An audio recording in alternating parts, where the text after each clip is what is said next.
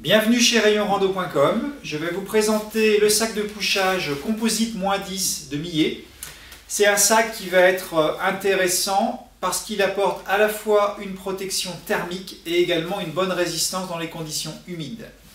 Et puis, on est également sur un, compromis poids-encombrement assez intéressant dans cette gamme de température, puisqu'on est sur du moins 3, moins 10, et vous voyez que c'est relativement compact, plus compact qu'un 100% synthétique, un peu plus encombrant quand même qu'un 100% duvet. En effet, on est sur un sac qui va combiner l'utilisation d'un duvet et d'un garnissage synthétique pour obtenir à la fois euh, les performances des deux matières.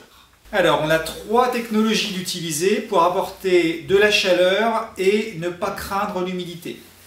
sur le dessus du sac, on va avoir du duvet, mélangé également à un peu euh, de fibres synthétiques. Donc ça va permettre d'avoir le gonflant et la bonne protection thermique.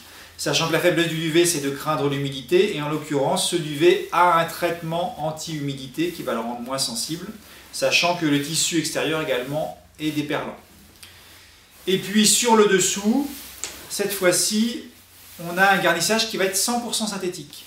Donc l'intérêt, c'est que là, ce garnissage en fibres creuses qui sont ouvertes, il ne craint pas l'humidité, donc il va rester chaud même humide. Il va drainer également l'humidité pour l'évacuer plus facilement.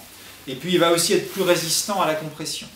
Donc on combine du coup les intérêts des deux matières, dessus et dessous, pour contribuer à avoir de la chaleur et une bonne résistance également en conditions humides, ce qui va permettre de l'utiliser en toute saison, y compris euh, printemps humide ou euh, hiver.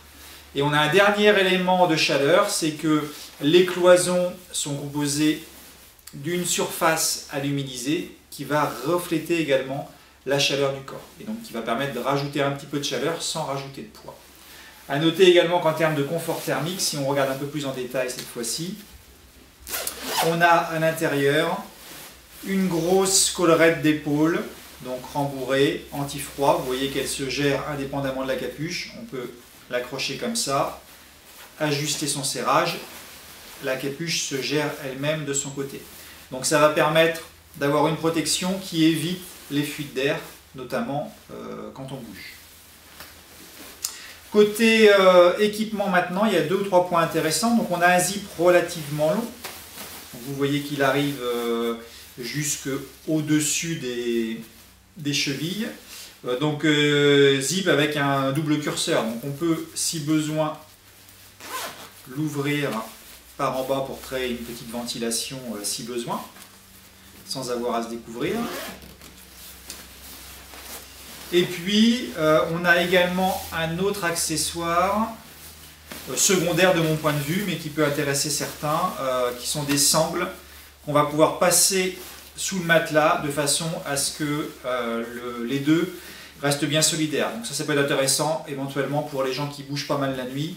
Ils vont bien rester sur le matelas pour ne pas perdre la protection thermique du matelas. Donc là aussi, par temps froid, ça peut apporter un, un petit plus, même si c'est un élément secondaire. Et il y a une autre petite chose qu'a prévu Millet, c'est avec le sac de compression, on peut le retourner et en fait l'intérieur est dans une matière euh, polaire douce et donc il suffit ensuite d'y mettre un vêtement et ça va pouvoir constituer un oreiller pour la nuit. C'est une petite astuce euh, supplémentaire.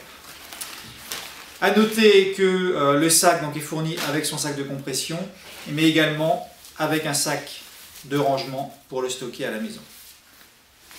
En résumé, le composite moins 10 va convenir pour un usage 4 saisons et euh, il ne craindra pas les conditions humides euh, grâce aux différentes technologies utilisées.